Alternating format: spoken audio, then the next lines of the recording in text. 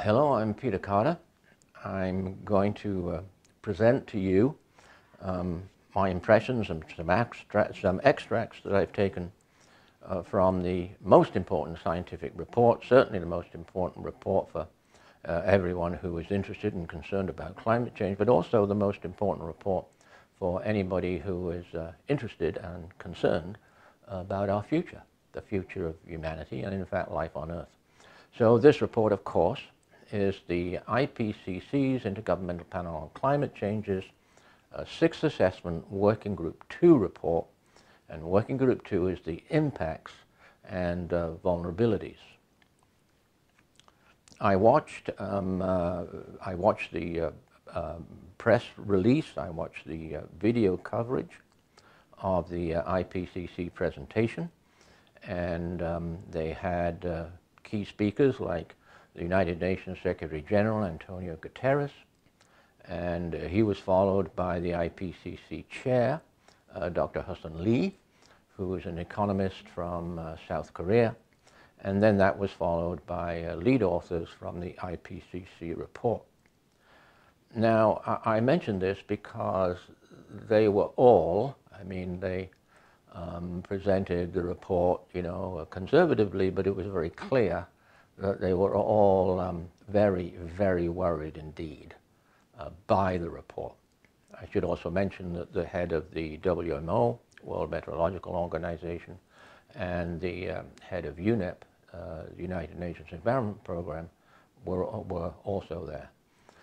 And um, you could really tell their, um, their deep concern about what this report means, but more than that, uh, the fact that uh, the governments have made no response whatsoever to the um, IPCC reports, which have been going on since 1990.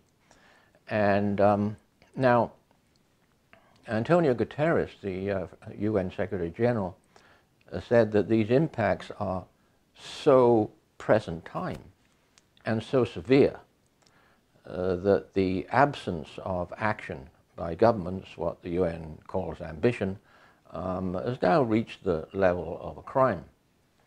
And uh, I totally, totally agree with that. Um, this has been um, the crime of all time for quite a long time.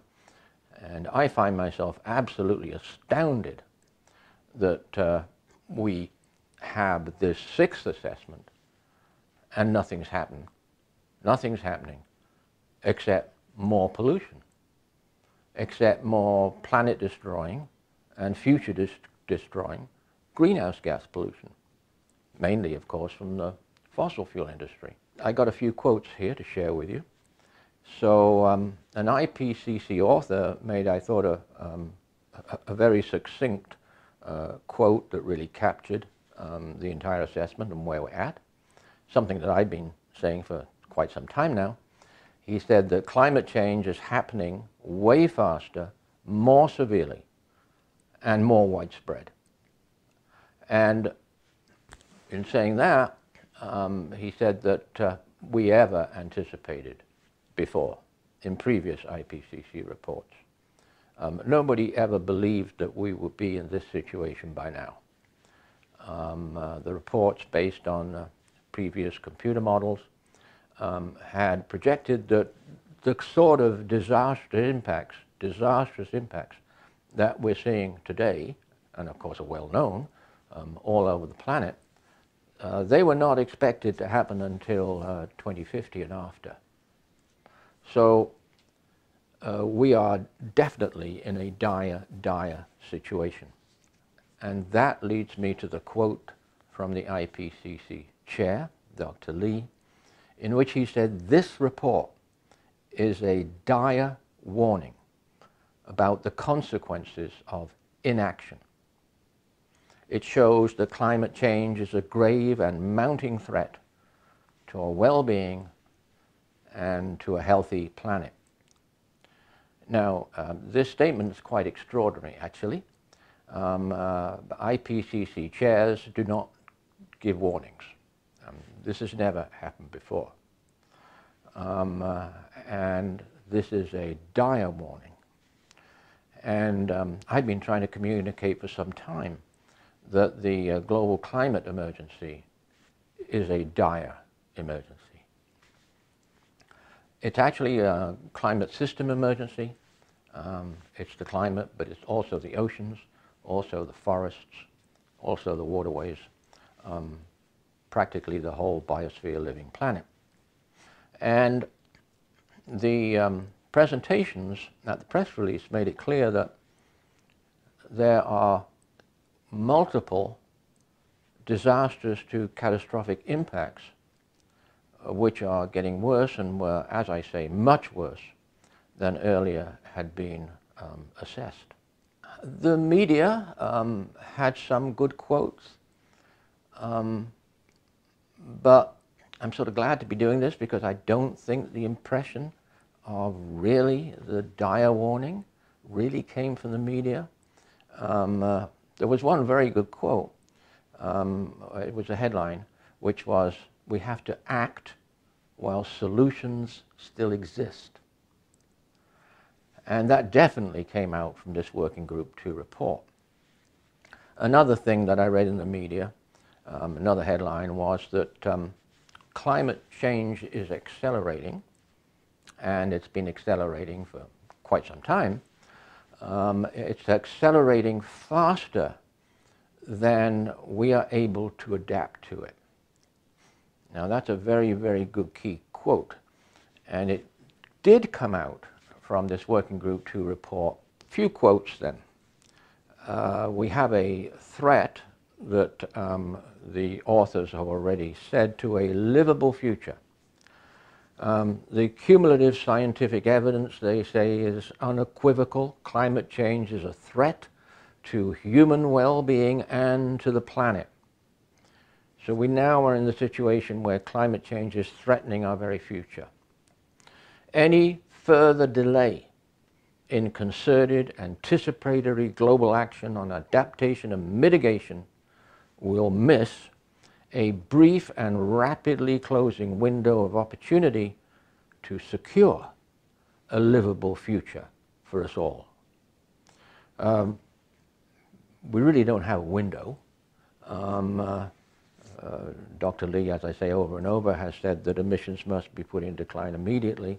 And that, that, that, that's easily possible. It's evil crime of, of subsidizing fossil fuels to uh, get that kick-started. Um, but this is very, very strong language from scientists. There are billions of people now being affected.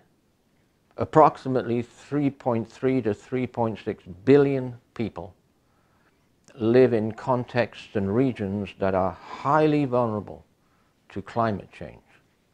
And they're already being severely impacted. IPCC says they have a high confidence in that statement. They go on to say that human-induced climate change is causing dangerous and widespread disruption in nature and affecting the lives of billions of people around the world. Despite efforts to reduce risks, well, it's a nice thing to say, but you know, there really hasn't been any efforts to reduce risk as I say, the governments and the corporations have been ignoring risks and uh, piled on um, catastrophic impacts for um, the generation of today's children um, to face. So, um, of course, we all know about extremes. So climate change and related extreme events will significantly increase the health and premature deaths from near to long term high confidence. So what that means is that these extreme weather events, particularly um, the heat waves, but also droughts and floods and superstorms, um, from now on it's going to cause an increasing number of deaths worldwide. So we're into uh, the killing stage of global climate change. And on heat waves, um, uh, the quote is that uh, the global population exposure to heat waves will continue to increase with every additional increment of warming.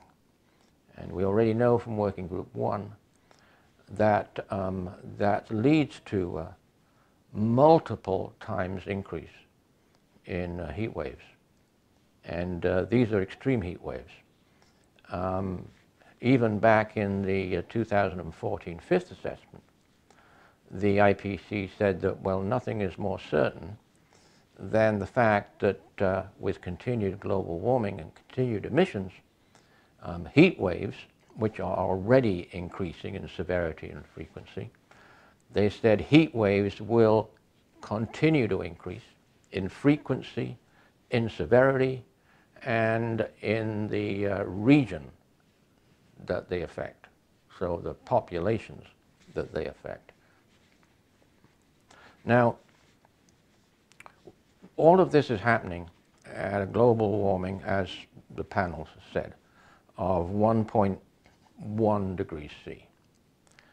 And the decision was made in 2015 um, with the Paris Agreement that uh, it was not acceptable to use the two degree C limit anymore. Um, that would be catastrophic. The science very, had become very clear on that. And that the danger limit was to be 1.5 degrees C.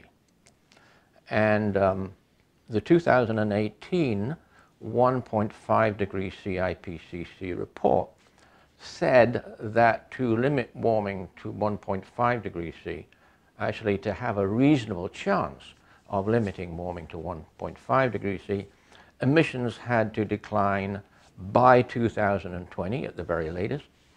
And um, uh, emissions, particularly CO2 emissions, had to be cut 50% by 2030. And UNEP, actually, their past two reports, they put an annual report out called the GAP report on climate change and emissions, um, said that this applies to 2 degrees C now as well. So not only to limit to 1.5 degrees C, but also to limit to 2 degrees C, emissions had to have been declining in 2020. And here we are in 2022, and uh, there is no plan to uh, do anything that's going to uh, put emissions into reverse or put emissions into decline. So there was a um, section on uh, climate hazards, and one of the things that came out very strongly from uh, Working Group 2 report, it was also in Working Group 1 report, was um, that we are increasingly going to see um, combinations of extreme weather events um, uh, coming at the same time in the same region, um, uh, coming um, severely in multiple crucial regions on the planet, and um, also coming in close proximity, um, uh, which they call compound extreme weather events. By way of reference for you to uh, read these over, I'm slipping in here a, a selection from uh, AR6, the projected future impacts that show that 1.5 degrees C is globally disastrous and that 2 degrees C is global catastrophe. There are so many severe projected future impacts at 1.5 degrees C that strongly reinforce the imperative from the AR6 Working Group 3 that global emissions must be put in decline immediately and rapidly. The, um, um, the head of UNEP um, put this very, very well, actually, uh, very graphically. Um, she said that we are being hit by climate change now over and over and over again. And we're being hit severely. And she said, unless we respond now, um, that's how the future is going to be. Um, the world population, and this applies to all regions, she said, are going to be hit more frequently and more severely. So we've reached that stage of climate change now. We've reached disastrous and catastrophic climate change and the suffering and dying phase of global climate change. So um, these climate hazards have multiple impacts. So the quote is that concurrent and repeated climate hazards occur in all regions. That's what we're seeing, that's what we're committed to in the future. And these include increasing impacts, increasing hits to, um, to health, population health, to ecosystems, to our infrastructure, to our livelihoods and our food production. So um, all of those essential aspects of our survival, um, they are going to be hit worse. Even if we do put emissions into immediate and rapid decline, um, that they are going to be worse. Because it takes a long time. I mean, if there's one thing that has always been known about climate change is it takes a long time for the climate system to respond. And um, to slow these down and to stop them um, also takes a long time.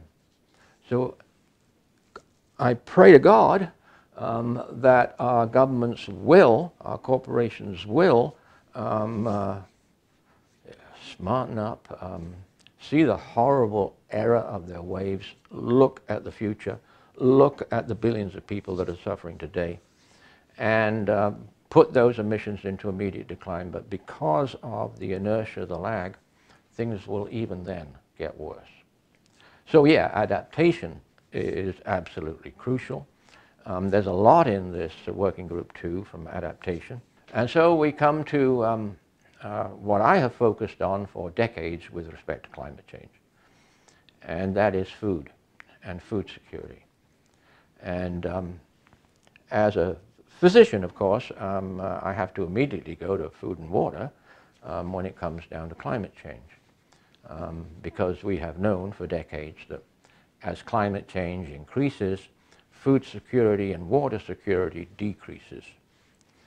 And um, we have a, a, billion or more um, people on the planet who already live under water insecurity, live under what's called water stress. Um, and we have an increasing number of people um, uh, under, with hunger and malnutrition. Um, with United Nations and international efforts, um, world hunger over the past decade or more has been slowly coming down. But over the past three to four years, it's going back up again. And that's due to climate change as well as conflict. And climate change and conflict, of course, go together because climate change damages and uh, robs populations of their uh, natural resources for their survival. And um, this kind of thing is already happening. So, what about food then? So, um, uh, uh food impacts increase, they're increasing with frequency and intensity with respect to all these extremes. And this has already, in this report, reduced food and water security. So the world is already in a global food and water insecurity situation as a result of today's climate change. So it doesn't take much imagination to um, figure out how, how, that's going to play out in a most terrible way um, uh, on global warming above uh, 1.5 degrees C, for example. And um, there's been a couple of really very amazing, um, clever studies that showed that despite the fact that um, food production continues to increase, um, uh, and the IPCC reports it here that over the past 50 years, there's been an increasing climate change drag on that increase. So the uh, potential that would have been expected for the continued increase um, has been cut back. So even though food production is increasing, um, uh, climate change for several decades now has been impacting on that adversely. That is a very important research. And so, not surprisingly, they say increases in the frequency, intensity, and severity of drought, which we're going to see, of floods and of heat waves and continued uh, sea level rise affecting the coasts and the islands will further increase the risks and impacts to food security. And that will affect major food producing regions. That's what it says here. It's absolutely right. Oh, and it says there's high confidence on that. And um, of course, that's already happening in vulnerable regions already and rapidly getting worse there.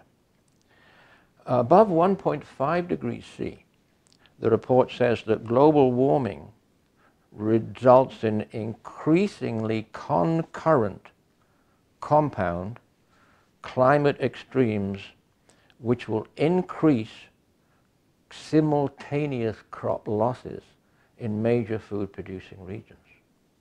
So that's the um, climate change um, multiple breadbasket research that's been done. And so um, already um, the scientists are projecting and warning uh, that we're probably going to see this. We're probably going to see the major breadbasket food producing regions of the world, including Canada, where I live, um, uh, impacted by this um, concurrence, this confluence of these multiple extreme weather events. Uh, diseases, um, of course, they're increasing already. Um, uh, climate sensitive, here's the quote on that one, climate sensitive foodborne, waterborne, and vector diseases, that's malaria, etc., are projected to increase under all levels of warming. So we're talking dengue, we're talking malaria, we're talking food poisoning, um, we're talking diarrheal diseases, particularly affecting uh, the very young, little babies and, inf and, infants. And they're going to increase.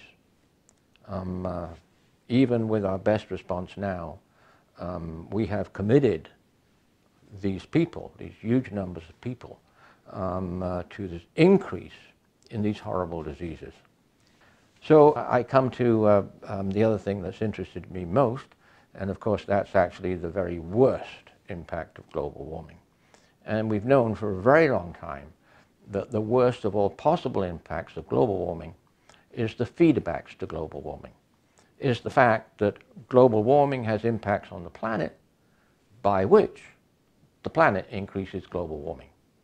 So this is why global warming is inherently extremely dangerous and always has been from day one. They, um, the policymakers have, um, um, did a bad job on the feedbacks.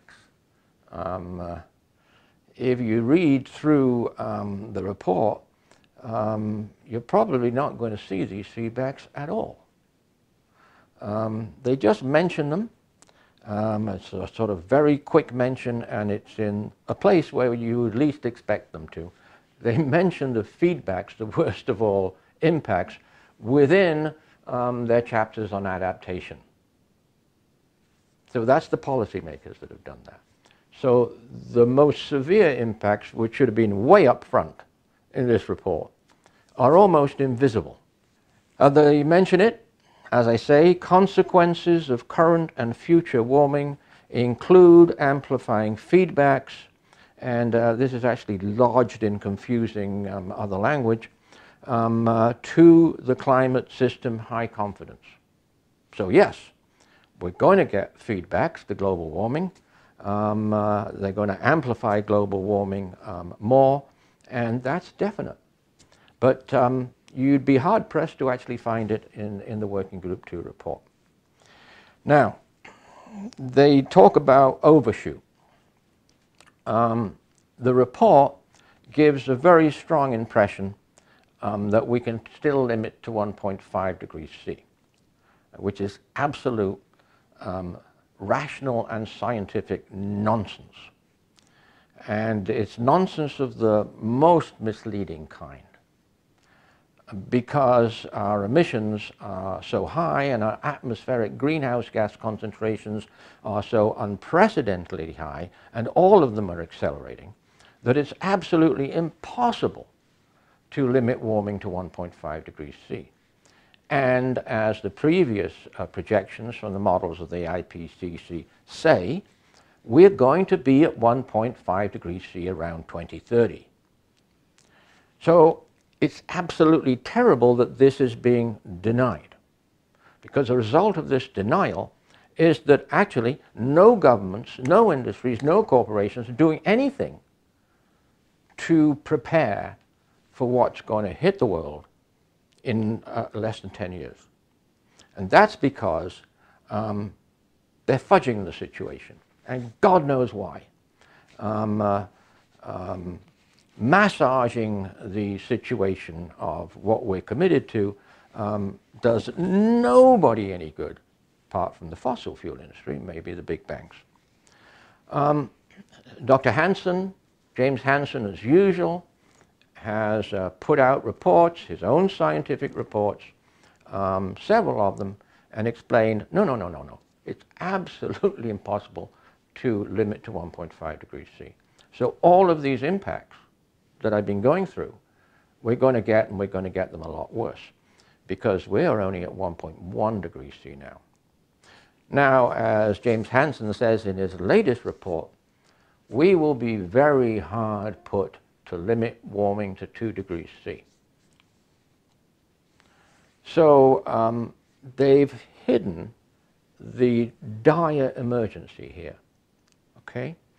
By saying, well, we agreed in 2015 to limit to 1.5 degrees C and we're not doing anything, actually we're just burning more fossil fuels, um, we'll just keep saying, we'll just keep pretending that we can still limit to 1.5 degrees C. So um, this is why um, this warning from the IPCC chair, this is our last warning. The next time it's going to be too late. So this whole Working Group 1 and Working Group 2 IPCC reports are our last warning. We have to respond to this.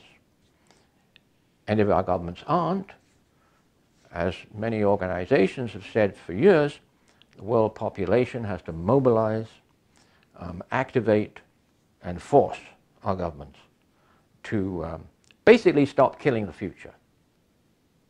Um, uh, and um, yeah, we have to use those terms with them because that's what they're doing. Um, as um, Secretary General Antonio Guterres said, said, we're now at a global crime situation. And so on the feedbacks, uh, to get back to the report, another quote that I've got is that the risks of severe impacts increase with every additional implement of global warming. Um, uh, we heard that in the uh, 2018 1.5 degree C report. And uh, during overshoot in high carbon ecosystems, so that's where the carbon feedbacks come from. Um, uh, as global warming progresses, the forests absorb less carbon, there's more forest fires, they emit carbon, actually a lot more carbon than we ever realized. A report just came out on that. Um, and the uh, peatlands, which are wetlands that contain huge amounts of black carbon, they emit more methane. And with global warming, which is already happening, it's been happening for many years now, um, the permafrost, um, uh, the largest pool of carbon safely frozen until recently, uh, the permafrost starts thawing and starts releasing. And for several years, the permafrost has been re-releasing all three greenhouse gases. It's been releasing methane, yes, but it's also releasing CO2, again in much larger quantities that the science ever anticipated. The more science we do over the past decades, the worse everything gets. I mean, that's just a constant theme. Um, uh, the more research we do on a particular aspect of climate change impacts, the, the worse we find it is. The more rapid we find it's happening. The report says that the consequences of current and future global warming include amplifying feedbacks to the climate system and as I say, in high carbon ecosystems, such impacts are already observed, as I've explained. They are projected to increase with every additional increment of global warming. And then they have all the uh, feedbacks here. But as I say, they're kind of hidden in the adaptation chapters. But yes, they will increase with every increment of warming, and that includes an increase in wildfires, an increase in mass mortality of trees, an increase in drying out and warming of peatlands, an increase in the thawing of permafrost, and a weakening of the natural land and carbon sinks. And all of those will cause increasing releases of greenhouse gases. So there's my most important concern. Uh, there's my biggest concern because that's the absolute worst impacts of climate change. Um, uh, if, therefore, uh, governments and these corporations don't act now uh, to put global emissions into decline, um, it's literally a death sentence um, for our future. Um, they actually have a very interesting um, uh, section which is actually under the frequently asked questions. And I've noticed this before in previous assessments. Um, the FAQs, and I've recommended these to people, uh, are really, really very good.